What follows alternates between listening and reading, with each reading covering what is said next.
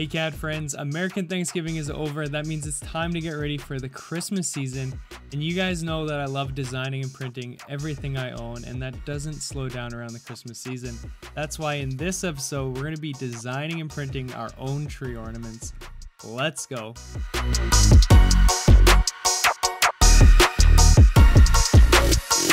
Okay, CAD friends, so we have a double header today, two designs, one video. So the first is going to be a basic extrude kind of uh, ornament that I designed, and the second is going to be a multi-part um, spinning star that I designed. So you can see I'll, I'll put the two here. And the description below will show them broke up. If you don't want to see the simple one, you can skip to the advanced one. But stick around, it's fun. Okay, CAD friends, so the first one we're going to design is just a basic extruded star. So the way we started this is we just started a sketch on the front plane and then just started drawing out a star. So best, they're the easiest way to draw a star is to actually draw all the points all the way through. So there we got those all the way drawn through. And then the next thing we're gonna do is we're gonna clean up all the inside uh, edges here that we don't need for making the extrude. We're gonna trim those up using the trim entity tool. So we're gonna use the power trim. We're just gonna quickly go around and we're gonna draw over top of the lines and they disappear just like that. We're gonna do some reference geometry to try and straighten this thing out. So we're gonna make that up. And now in a star or a five point star like this, all the sides are the same length. So one quick way to define a star is to quickly quickly go through and select these ones here and then go equal. And there we go. We have a defined star. So now we're just gonna make this tangent with that and then set our star height. So I think our star is gonna be about four inches tall. And there we have it. We have a fully defined star just like that. So now all we have to do is make all the points kind of converge to a, a center point like you see in, in the line right here.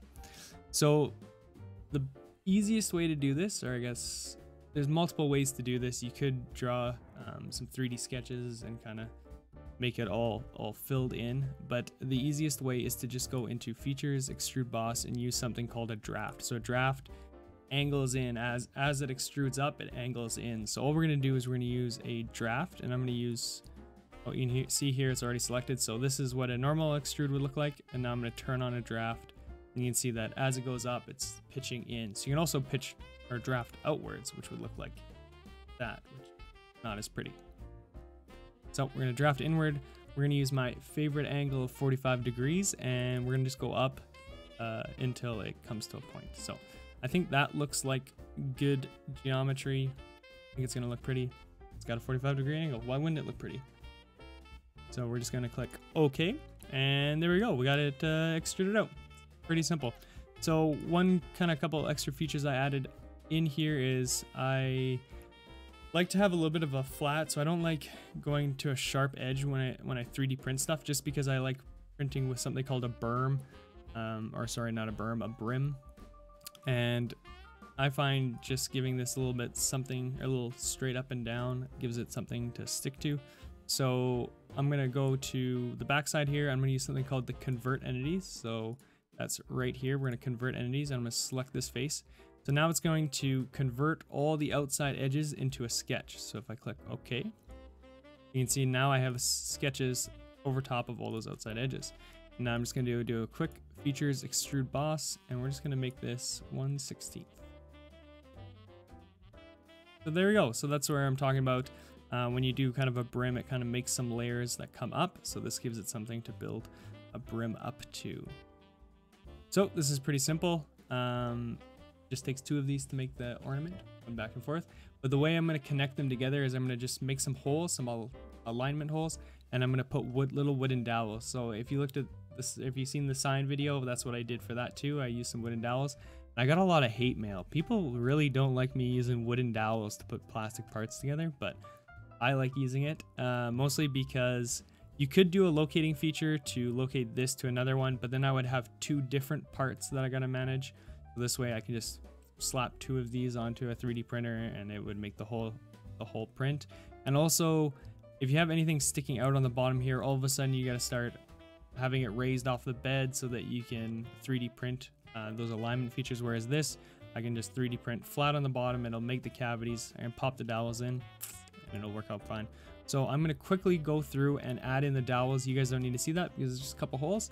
And then when I'm done with that, we're to just make the hole for hanging it on the tree. Let's go.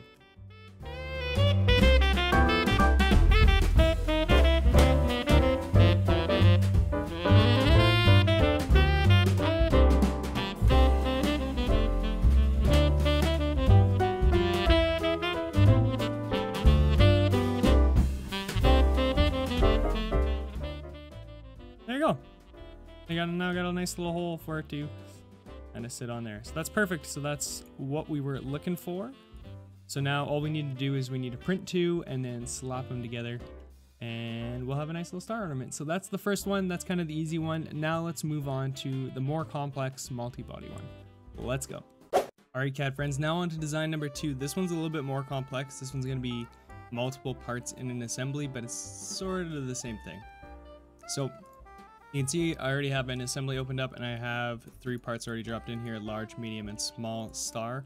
So we're gonna just open up this part here and we're gonna get to it. So you can see I already have a sketch done up. You've seen in the other one how I made the star, so no need to sketch it again.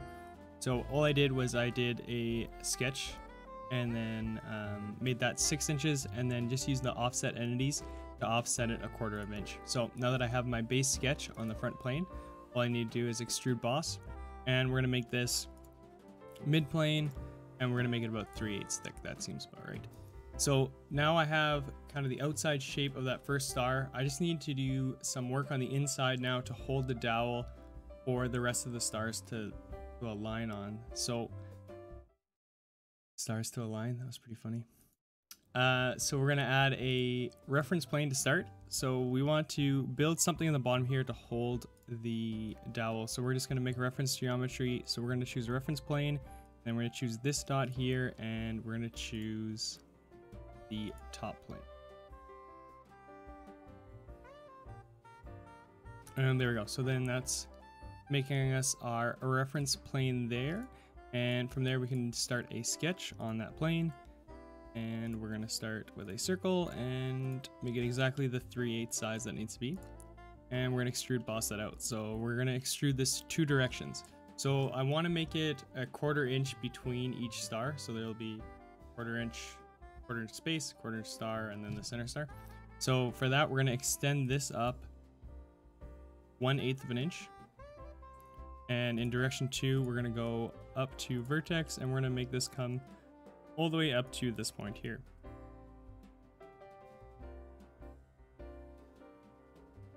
So there we go. So now we got a little bit of a base there, then that's where the next star is going to sit on top of, and that's where it's going to be kind of the bottom holder for the dowel. So now I got to do a little bit of work at the top to add a hole for it to hang as well as kind of make the top mount where the dowel is going to sit through. So I'm going to quickly go through that. It's just a bunch of extrudes and the same thing where I'm building a reference plane and then working off of it.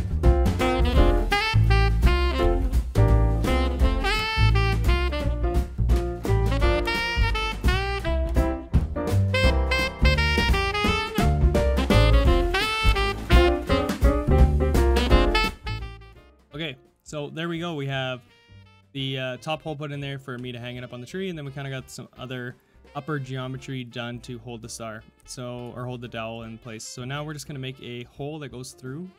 Um, so we're going to start a sketch on top of this cylinder that we made here. So again it's going to look like this.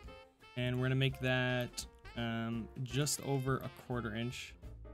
Make that 0 0.260 260 just to give it 10 thou clearance to make sure that the dowel um, actually has room to fit in there and it's not a it's not too much of a shove so we're to make that go down into the star a quarter of an inch so that it has somewhere to kind of sit in. So I'll put some hot glue and we'll have it rest in there. And then the other direction, we'll just go blind and we'll go through all.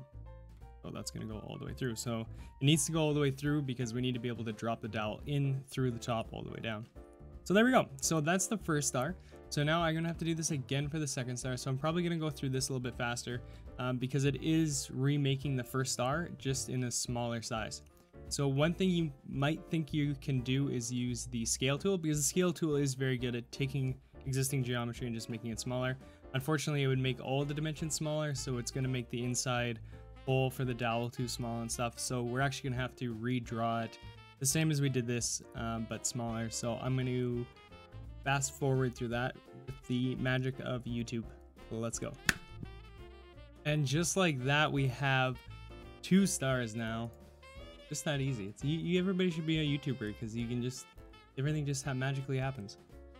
So we have the inside star is done. It's like I said, it's quarter inch offset. It was the same thing, except this is a little bit extruded farther down, and then again the hole goes through all of it. So the last thing to do is the center star or the small star. So we're gonna open up the small star and just quickly do that one.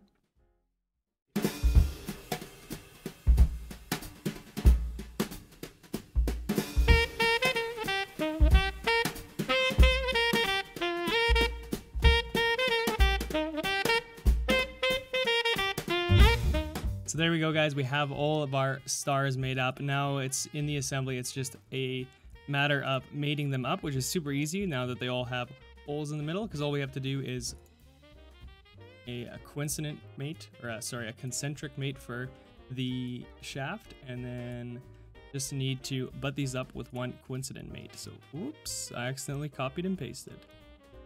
Just gonna butt that one up there. Delete the floating star that I have there. And then finally, this one here. Again, we're gonna do a concentric mate to the center. And we're gonna do a coincident mate from here to and it's just that easy. So we have now we have our stars that can rotate about the middle, and then we'll have a wooden dowel that goes up and up through the center, and then lets them pivot about that. So it's that simple. Uh, now it's just time to build it. So let's get to that.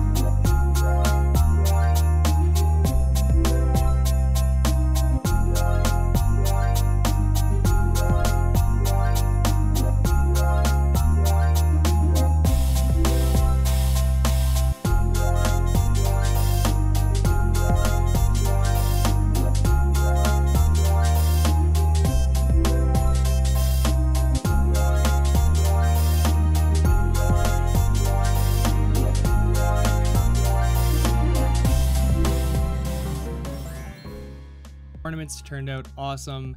It's always nice just seeing something that you made on the tree. It's just like when you used to build your mom tree ornaments when you were a little kid. It's no different. You can be, you know, 25 and still building your mom Christmas ornaments. Just a little bit more technology now. I hope you guys enjoyed this episode. I hope you guys learned something about using reference planes or just got you in the Christmas spirit. Thank you guys for watching. I will see you guys in the next episode.